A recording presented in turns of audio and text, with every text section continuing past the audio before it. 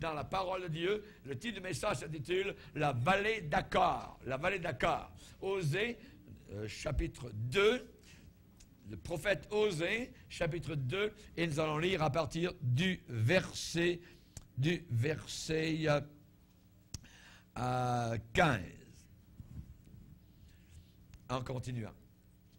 Osée, chapitre 2, verset 15. La vallée d'accord. Et c'est le message numéro 1 de ce de cette étude-là. La vallée d'Accord. Osée chapitre 2, verset 15. Dieu va dire, je la châtirai pour les jours où elle encensait les Baals, où elle se parait de ses anneaux et de ses colliers, allait après ses amants et m'oubliait, dit l'Éternel. C'est pourquoi. C'est la raison pour, pourquoi. Voici, je veux l'attirer et la conduire au désert. Et je parlerai à son cœur. Là, dans le désert, je lui donnerai ses vignes et la vallée d'accord, comme une porte d'espérance. Et là, elle chantera comme au temps de sa jeunesse et comme au jour où elle remonta du pays d'Égypte. En ce jour-là, dit l'Éternel, tu m'appelleras mon mari, et tu ne m'appelleras plus mon maître. J'ôterai de sa bouche les noms des Baals, afin qu'on ne les mentionne plus par leur nom. Amen. Seigneur, nous te bénissons et te glorifions pour ta puissante parole. Oui, Seigneur, il est vrai que la vie est parsemée de vallées de larmes. Et nous savons qu'au travers de ces déserts, au travers de ces vallées, tu sais si bien te révéler, Seigneur. Nous te demandons ce matin, Seigneur, que la personne la plus oppressée, la personne la plus écrasée, la personne qui souffre peut-être le plus, Seigneur, parmi nous, puisse trouver en toi, dans ta parole et en ta présence ce matin, le réconfort, la consolation, Seigneur, que tu sais si bien apporter. Tu nous as donné un consolateur. Tu as dit, je ne vous laisserai pas orphelin. Merci, Seigneur, de ce que ce matin, nous ne sommes pas sans consolateur. Nous avons le Saint-Esprit qui est là, agissant, vraiment nous amenant, Seigneur, à la maison de consolation, à la maison de compassion. Veuille bénir, Seigneur, tous ces hommes, ces femmes, ces jeunes gens jeunes filles, Seigneur, et que la paix de Dieu, la grâce de Dieu nous donne un puissant réconfort au nom de Jésus-Christ, notre seul Sauveur. Amen. Et tout le peuple dit Amen. Gloire à Dieu. Vous pouvez vous asseoir, frères et sœurs. Alléluia. Gloire à Dieu. Quelle joie ce matin d'apporter la parole de Dieu. C'est un privilège immense, imaginez. Dieu parle au travers de sa parole. Et Dieu se sert d'instruments humains pour apporter ce message qui est si puissant. Le message est au-delà du messager. Le messager n'est que cendre et poussière. Mais le message est éternel. Le message est fort. Le message est puissant. La Bible dit que cette parole, elle est là pour nous édifier. Nous qui croyons, nous qui la recevons avec foi. Cette parole n'agit aucunement dans les cœurs incrédules. Cette parole, on peut l'entendre, mais ça ne veut pas dire qu'on l'écoute. Il faut l'écouter et attentivement la recevoir avec douceur et ensuite la mettre en pratique. Amen. Et là, elle porte du fruit. C'est une semence dans un terrain qui est meuble, un terrain qui portera du fruit à la gloire du Seigneur. La vallée d'Accord. Ici, nous avons dans ce passage une citation d'une vallée. On nomme le nom de cette vallée. Il dit, Dieu va dire, là, je lui donnerai ses vignes et la vallée d'Accord comme une porte d'espérance à prime abord, ça ne nous dit rien.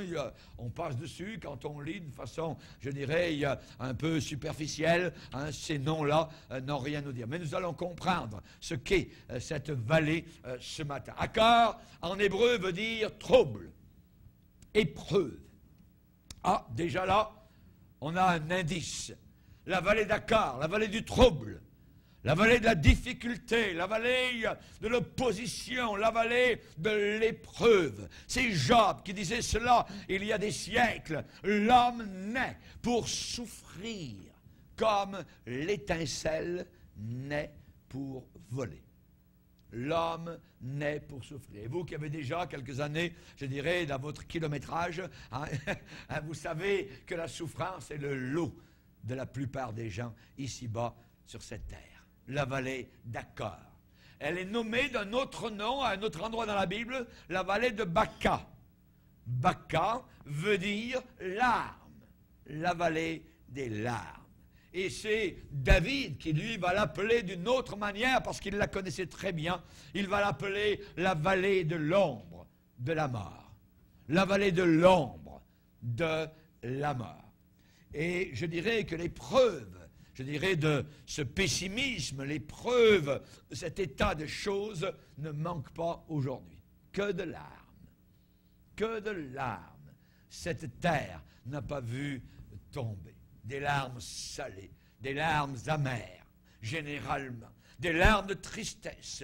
Et certains d'entre nous sont bien trop familiers avec la vallée d'Akkar, la vallée des épreuves, la vallée des larmes, la vallée de Baca, la vallée de l'ombre de la mort. Nous connaissons ces vallées profondes, ces vallées très encaissées, ces vallées où le soleil ne pénètre jamais, ces vallées qui semblent incontournables, nous voudrions eh, passer à droite ou à gauche, mais il semble que la direction nous, indique de, on est obligé de passer euh, par là. Il faut inévitablement, je dirais, passer par les vallées d'Akkar avant d'atteindre les hauts plateaux de la sainteté. Avant d'atteindre les pics élancés de la gloire de Dieu, les Himalayas célestes. Et pendant les périodes d'hiver, ces vallées généralement sont froides, ces vallées sont sévères, ces vallées sont dures, se rétrécissent en gorges étroites, humides, sauvages. Il semble que le soleil n'y pénètre jamais. Baca, accord, souvenirs sinistres. Mais cependant, ces souvenirs qui peuvent amener la tristesse, en même temps, c'est drôle à dire, mais amènent de la joie. De la joie, oui, en profondeur. La Bible déclare, heureux, bénis ceux qui placent en toi leur appui, Seigneur, et quand ils traversent la vallée de Baca, des pleurs, de la tristesse, ces gens-là la transforment en un lieu plein de sources. Et la pluie la couvre aussi de bénédictions. Même la pluie, je dirais, qui arrose là-haut, les hauts sommets des montagnes. Cette même pluie va descendre aussi dans les vallées profondes, au fond de la vallée des larmes. Et il est possible, même là, d'y découvrir la bénédiction de Dieu. Alléluia. Quand on est dans la vallée de l'ombre de la mort, David a dit, quand j'y marche, je ne crains aucun mal aucun mal, parce que ta houlette et ton bâton me rassurent. Je suis rassuré, je suis encouragé par ta houlette et par ton bâton. Alléluia. Merci Seigneur, il n'est pas loin. Et pour accord, spécialement, la promesse est précieuse. Nous avons lu dans le livre d'Osée ce matin, je lui donnerai la vallée d'accord comme une porte d'espérance. Comme une porte d'espérance. J'aimerais vous dire ce matin, il n'y a aucun lieu qui est trop obscur. Il n'y a aucune situation qui est désespérée. Il n'y a aucune épreuve qui ne soit sans espérance. C'est le message vraiment du prophète Osée au chapitre 2. Le contexte du temps de Osée, eh bien, c'était que lui-même était un homme de Dieu, un prophète. Il était conscient du péché terrible de son peuple autour, le peuple d'Israël. Il a aperçu au loin les nuages noirs s'amonceler. Il a vu l'orage arriver. Il a vu le jugement qui allait tomber sur un peuple qui oubliait Dieu littéralement et qui s'en fichait. Et il a écrit justement avec pleurs au chapitre 7 en disant, Maintenant leurs œuvres les entourent, elles sont devant ma face, dit le Seigneur. Ils réjouissent le roi par leur méchanceté et les chefs sont réjouis par leurs mensonges. Ils sont tous adultères, semblables à un four chauffé par le boulanger. Ils cessent d'attiser le feu depuis qu'il a pétri la pâte jusqu'à ce qu'elle soit levée.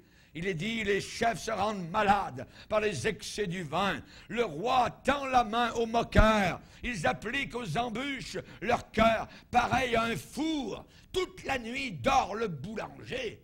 Et au matin, le four brûle comme un feu embrasé. Ils sont tous ardents comme un four. Ils dévorent leurs juges le péché, la convoitise, les brûle littéralement. Et on voit dans la parole de Dieu la description de ce que le péché est en train de faire dans leur cœur. Ça dit, aucun d'eux ne m'invoque, aucun d'eux ne m'invoque. La salle de prière est vide.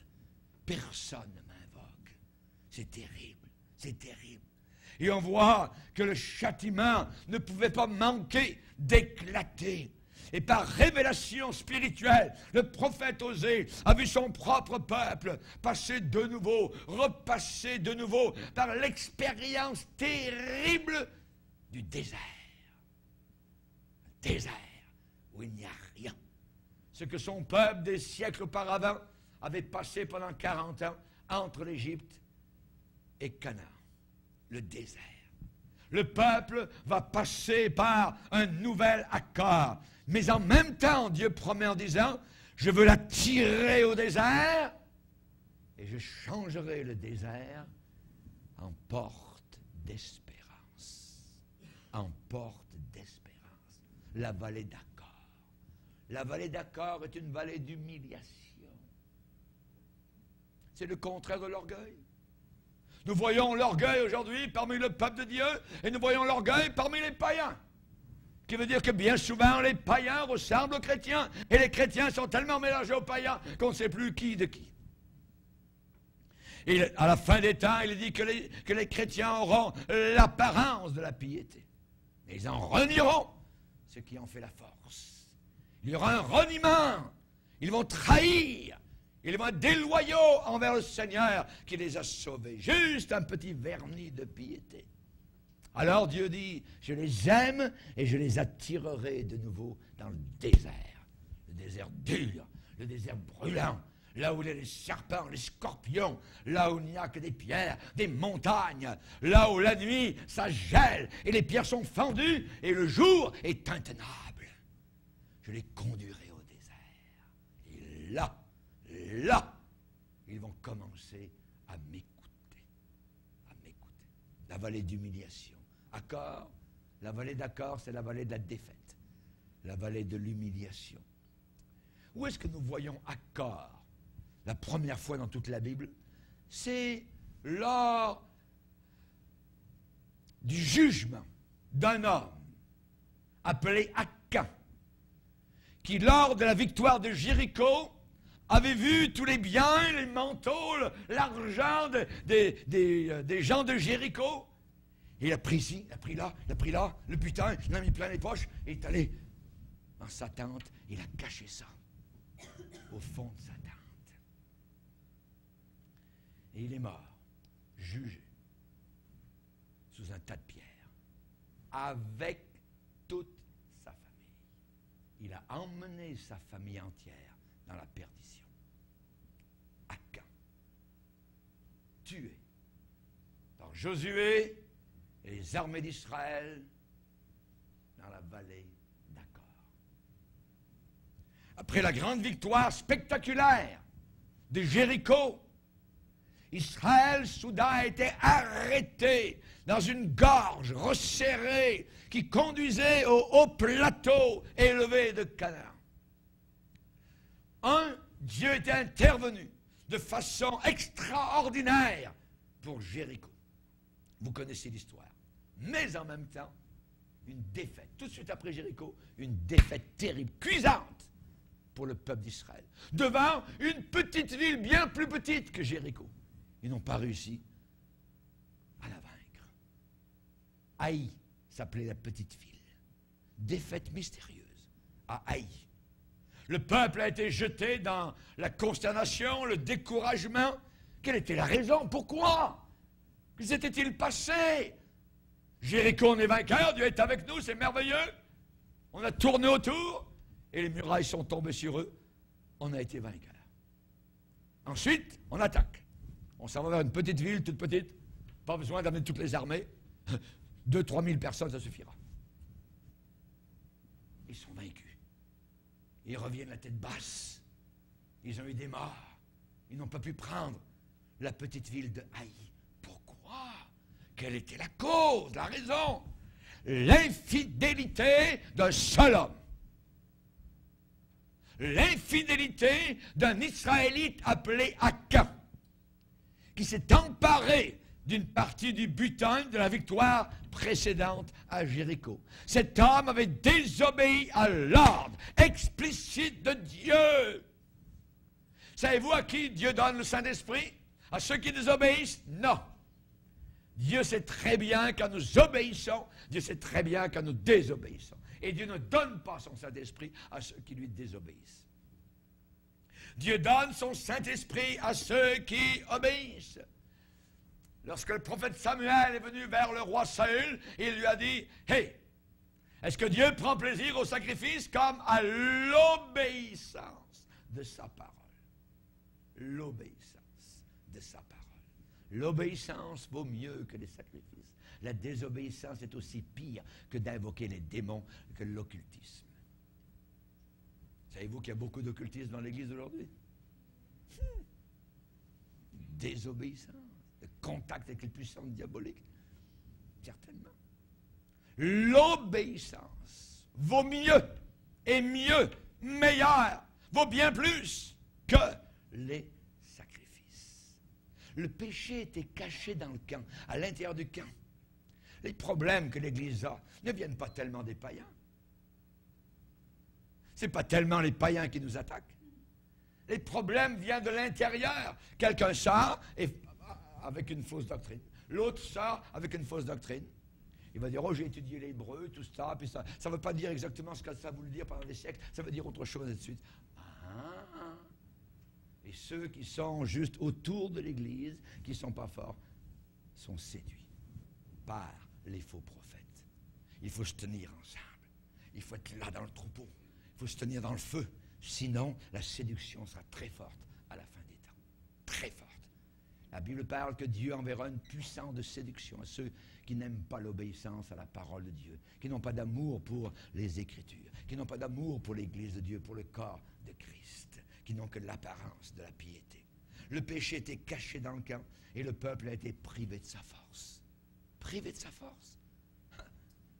Quand ils ont été vaincus devant la petite ville d'Aï, il est dit que Josué était consterné, le peuple a perdu courage. Quel est mon but, moi, comme pasteur? Sinon, de vous faire vous encourager. Que vous preniez courage. Que vous ne vous découragiez pas. Que vous continuiez à aller de l'avant. Que vous départissiez de vos mauvaises voies, de vos péchés, pour que vous puissiez servir le Seigneur d'un cœur intègre. Alléluia. Il est dit le peuple fut consterné, perdit courage, battu. Josué déchira ses vêtements, se prosterna jusqu'au soir, le visage contre terre devant l'arche de l'éternel Seigneur. Qu'est-ce qui se passe? C'est quoi l'affaire? On est vaincu? On a gagné une grande victoire à, Jéricho et maintenant on est vaincu. L'Éternel dit à Josué, lève-toi. Pourquoi restes-tu ainsi couché sur ton visage? Israël a péché. Le péché amène toujours la défaite. Je me rappelais toujours ce vieux noir, alors que j'étais au Mali, en brousse, en train de prêcher la parole de Dieu. Après la réunion, il m'a pris à côté de sa petite maison. Et il a assis sur une chaise alors que le soleil était en train de se coucher au crépuscule. La réunion était terminée. Il m'a dit, pasteur, est-ce que vous ignorez qu'aucun pécheur n'est heureux? Oui, c'est vrai. Je le savais. Mais il voulait me parler de quelque chose. Il dit, il y a cela des années? Il a ouvert son cœur, j'étais étranger, je passais. Il m'a parlé d'une situation dans laquelle il avait été avec une autre femme. Lui qui a prêché la parole de Dieu. Il dit, je n'ai jamais été heureux tant que je n'ai pas avoué mon péché. Tant que je n'ai pas dit devant le Seigneur. Tant que je n'ai pas reconnu. Tant que je n'ai pas coupé cette relation. Ce triangle de la mort. Un homme, une femme pour la vie. Mais s'il y a un troisième qui se présente, on a un triangle. Et c'est très dangereux. Ne savez-vous pas, pasteur, qu'aucun pécheur n'est heureux? J'ai dit oui, je le sais. Il voulait m'avouer son péché. Accord, accord. La vallée d'accord, c'est le symbole de la défaite cruelle, la défaite brutale, le symbole de l'humiliation devant l'ennemi. Devant l'ennemi. Mais en même temps, la vallée d'accord, c'est le rappel que Dieu ne peut donner sa victoire aucunement à celui qui cache son péché. Impossible. Il faut l'avouer, il faut implorer le pardon de Dieu. Il ne pas garder des choses pas garder des manteaux de chinéard à l'intérieur de notre cœur, sur notre tente. On ne peut pas garder des idoles cachées dans le sous-sol de nos cœurs. C'est impossible. C'est impossible. Dieu se retire sans bruit. Sans bruit. Dieu ne dit pas, oh, je m'en vais. Non. C'est simple. Vous n'avez plus de victoire. Présence de Dieu. Dieu se retire sans bruit et son absence va se révéler. Comment Son absence va se révéler à la toute première bataille. À la toute première occasion, vous serez battu. Vous n'aurez pas la victoire. Vous allez tomber devant l'ennemi. Du temps d'oser, Israël péchait encore plus gravement, et je dirais de façon encore plus généralisée par l'idolâtrie. L'idolâtrie et dans Osée au chapitre 7, il va dire Ephraim se mêle avec les peuples païens. Ephraim est un gâteau qui n'a pas été retourné. Essayez de manger un gâteau qui n'a pas été retourné? D'un côté, c'est la pâte, et de l'autre côté, il est cuit. Mangez ça. Tac. Immangeable. Immangeable. Se mêler avec les païens. Aimer la compagnie des païens. C'est comme un gâteau qui n'a pas été retourné. Ça dit des étrangers. Des étrangers. Et quand la Bible dit toujours étrangers, c'est ceux qui sont étrangers à Dieu. Des étrangers consument sa force et ils ne s'en doutent pas. Ils ne, ils ne le savent pas. Du temps de Noé, quand le déluge est arrivé, hein? Nous avait raison. C'est trop tard. Il ne s'en doutait pas. Il ne s'en doute pas. La vieillesse s'empare de lui et il ne s'en doute pas ne s'en doute pas.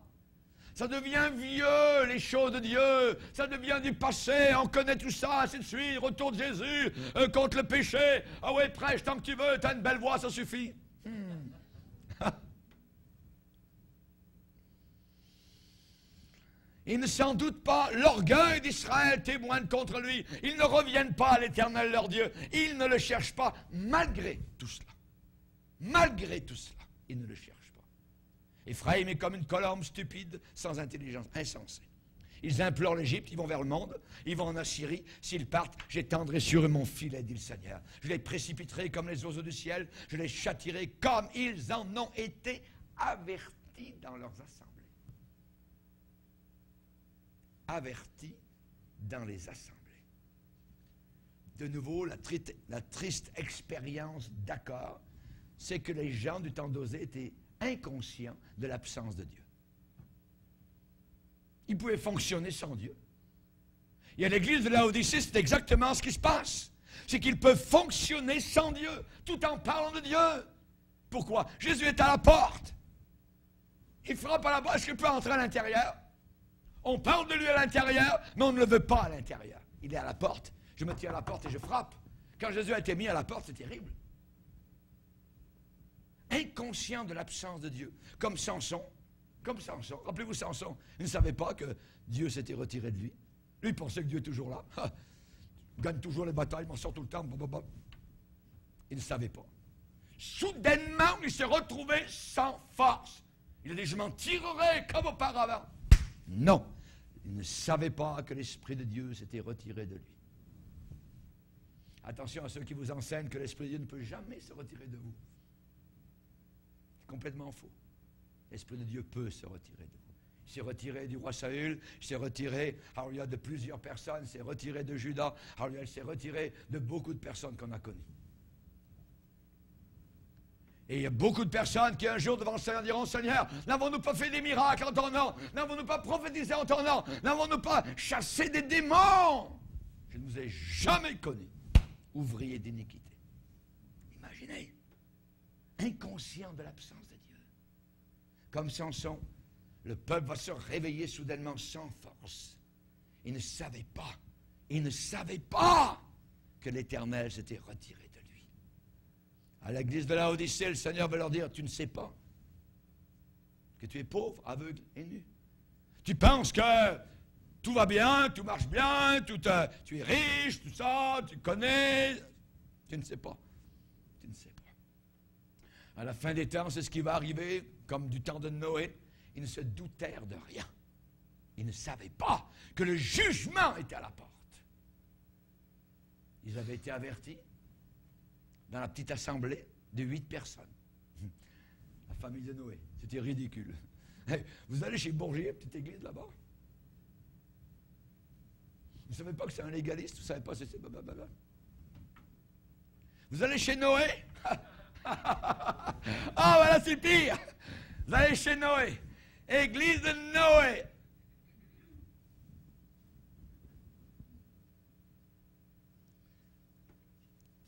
Samarie, la capitale du Nord, Jérusalem, la capitale du Sud, étaient sur le point de tomber, littéralement être brûlés entre les mains des ennemis. Ils ne le savaient pas. Pour eux, c'était la méchanceté. Mangeons, buvons, demain on on ira au ciel avec le Seigneur.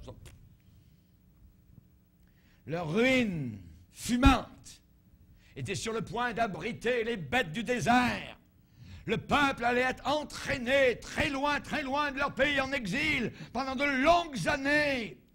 Et c'est là, ce moment-là, où Osée a pris la, la, trompette et a dit, je veux t'attirer, je veux te conduire au désert, et là je parlerai à ton cœur, là je te donnerai la vallée d'Akkar comme une porte d'espérance. Bientôt tu n'auras plus aucune espérance. Si tu suis le monde, si tu regardes, si tu écoutes le monde, tu n'auras aucune espérance.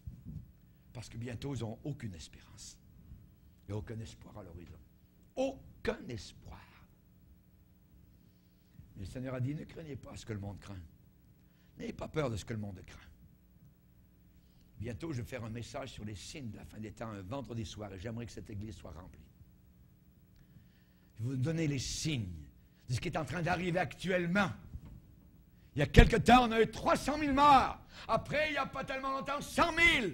Après, maintenant, 50 000. Bientôt, un demi-million de personnes viennent de mourir et les gens, ils mangent en buvant, on mourra. Ils n'entendent pas. Ils ne voient pas ce qui se passe. C'est terrible. C'est terrible.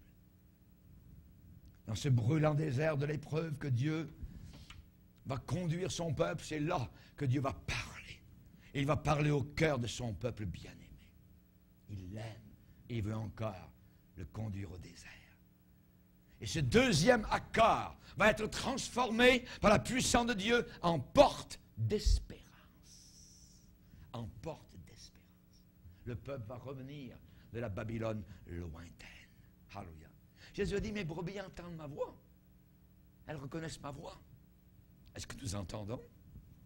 Est-ce que nous voyons? Que vois-tu, Jérémie Jérémie dit Oui, je vois ceci, Seigneur. C'est bien, tu as bien vu. Est-ce que nous voyons? Est-ce que nous entendons? Est-ce que nous reconnaissons au point où nous sommes rendus actuellement? La plupart des chrétiens autour de la terre savent très bien qu'il est fort possible que nous soyons la dernière génération. La dernière génération. Que vont-ils faire quand nous aurons été enlevés dans le ciel? Quand la lune va être larmoyante de sang, lorsque le soleil ne donnera plus sa lumière, lorsque les îles vont être secouées de leur place, que vont-ils faire Du bétail marqué pour l'enfer par la marque de l'Antichrist. Ça va être terrible. Terrible. Mes brebis, mes brebis entendent ma voix. Entendent ma voix. Que celui qui a des oreilles entende ce que l'Esprit dit à son Église. Alléluia. La vallée d'accord peut être transformée en une porte d'espérance, en un lieu plein de sources. Alléluia. Le peuple peut être purifié de son idolâtrie. Le peuple peut, retrouver l'amitié de Dieu, la force de son Dieu. Est-ce que vous pouvez dire honnêtement dans votre cœur, au fond de votre cœur, Dieu c'est mon ami? Un homme m'a dit ça. Alors que nous marchions dans une forêt, aujourd'hui il était avec le Seigneur au ciel, un pasteur, un vieux pasteur de la BTB, pasteur tassé, qui avait accepté le Seigneur dans le bois, un bûcheron. Et un jour, dans un camp, alors qu'avant que la réunion commence, on a pris une marche ensemble. Il m'a dit, tu sais Raymond, moi maintenant, sur la fin de ma vie, j'ai 70 ans et plus. Et Dieu, pour moi, c'est un ami. C'est resté frappé dans mon cœur. C'est exactement comme Abraham. A été appelé l'ami de Dieu. Un ami connaît son autre ami. Un ami, c'est quelqu'un qui en parle, on mange ensemble, on discute ensemble, on ouvre le cœur ensemble. Est-ce que Dieu est votre Accor, c'est la vallée d'humiliation, symbole d'une vie de péché, de défaite. Mais en même temps, vallée d'Accor, c'est un lieu de victoire, porte d'espérance. Porte d'espérance pour ceux et celles qui rencontrent le Seigneur là, dans la vallée d'Accor. Là, a dit le Seigneur, je parlerai à son cœur. Là, je lui donnerai les vignes. Là, ça sera, ça deviendra une porte d'espérance. Je veux l'attirer, je veux la conduire au désert. Et là, je parlerai à son cœur. Porte d'espérance. Porte d'espérance. Vous vous rappelez quand Jean était à Patmos, ce pas à cause de son péché. C'est à cause de Jésus, parce qu'il était fidèle au Seigneur. Il a entendu la voix du Seigneur. Il a dit, ah, sa voix, sa voix, c'était comme mille Niagara. Quand il parlait des chutes d'eau magnifique, glorieuse. La voix de Dieu. Parle-moi, toi Seigneur. Parle-moi, toi Seigneur. Voici, je veux attirer mon peuple. Je veux conduire mon peuple au désert. Et je parlerai à son cœur. Et là, je lui donnerai ses vignes, la vallée d'accord comme une porte d'espérance. Là, elle chantera comme au temps de ça vous rappelez-vous votre jeunesse spirituelle? Moi, je m'en rappelle très bien. C'est il y a 40 ans. Et j'ai le même témoignage du Saint-Esprit 40 ans plus tard, là, dans le cœur. Comme c'est à peu près 4 ans, 4 mois, 4 jours, 4 minutes. La même chose. La même chose. Au jour où elle remonta d'Égypte. Le jour où vous êtes remonté du péché. Le jour où vous êtes remonté du puits. Le jour où quelqu'un a placé sous vos aisselles les chiffons et quelqu'un a tiré et vous avez senti que vous êtes monté, vous êtes sorti des ténèbres, vous êtes arrivé en pleine lumière. Transformation mal en bien. Transformation de la défaite en victoire. Transformation du désespoir en espérance. Alléluia. Dans Ésaïe 61, le Seigneur va dire je suis venu pour consoler tous les attristés, tous les affligés, pour accorder aux affligés, pour leur donner un diadème au lieu de la cendre, une huile de joie au lieu du deuil, un vêtement de louange au lieu d'un esprit abattu. On les appellera des térébintes, une plantation de l'Éternel. Êtes-vous la forêt du Seigneur? Êtes-vous le verger du Seigneur? Portez-vous des fruits à la gloire du Seigneur? Alléluia. Heureux l'homme qui ne marche pas selon le conseil des méchants, qui ne s'arrête pas sur la voie des pécheurs, mais qui trouve son plaisir dans la loi de l'Éternel, qui la médite jour et nuit. Il est comme un arbre, un arbre planté près d'un courant d'eau, qui donne son fruit dans sa saison. Vous êtes une plantation du Seigneur. Quelle sorte de fruits portons-nous? Portons-nous du fruit? Portons-nous beaucoup de fruits?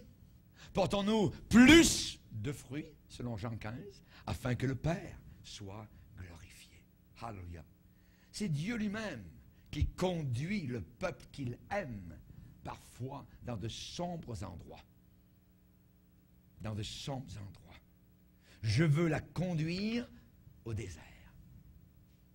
Je veux le conduire au désert. Je veux l'attirer au désert. Alléluia. Et quand on se pose des questions sur la discipline du Seigneur, ça peut être parfois mystérieux.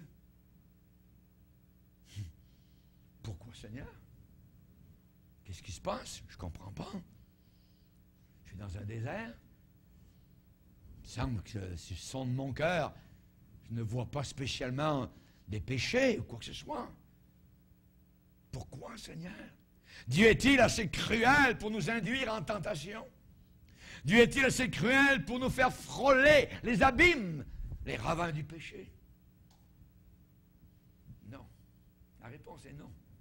Attention à nous, de ne pas tenter Dieu. Ne pas tenter le Seigneur.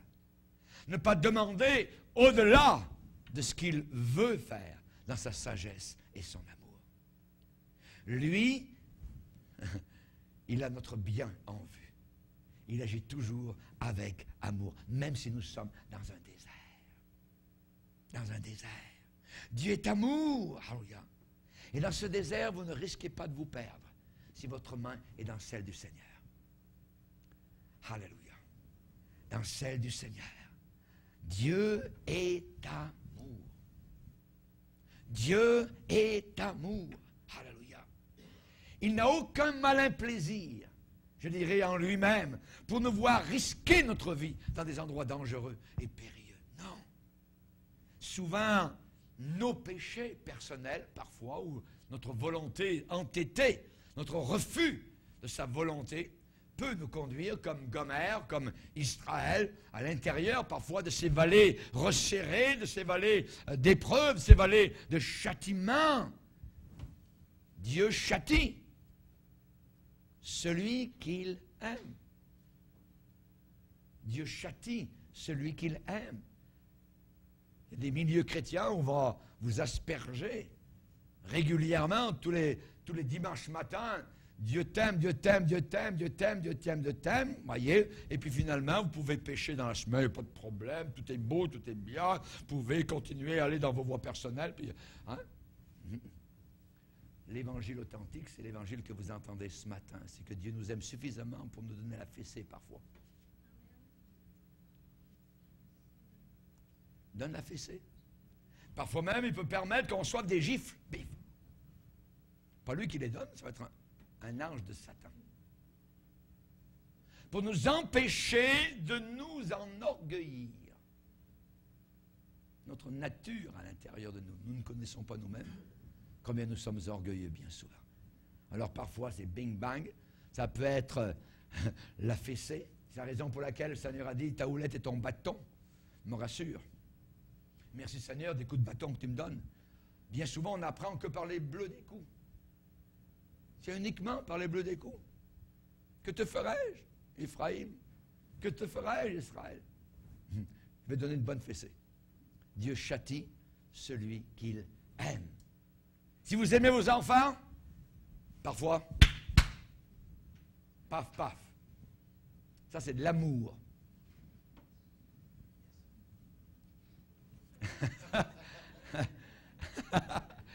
Alléluia. Il y en a un qui a dit yes. Alléluia.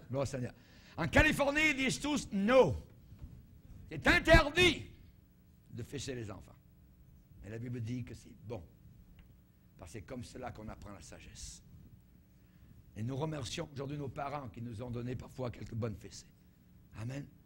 Je veux l'attirer au désert Et là, je parlerai à son cœur. Merveilleuse parole à notre cœur. Pas à notre tête. Baissons nos têtes et prions Seigneur. Alléluia.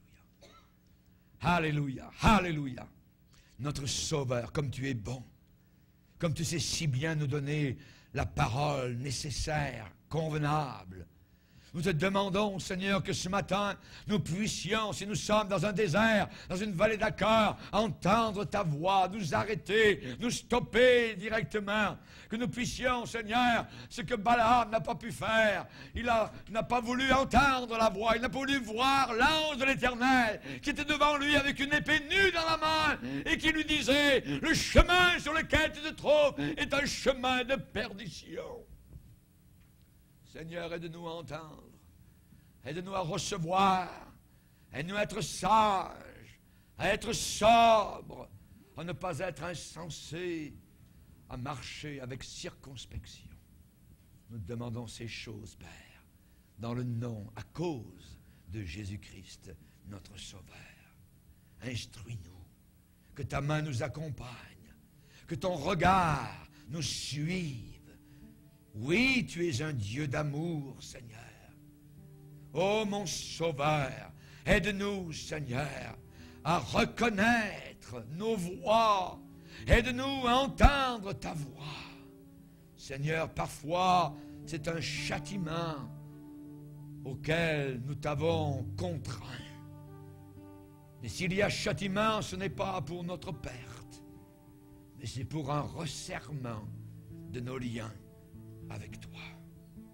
Seigneur, merci.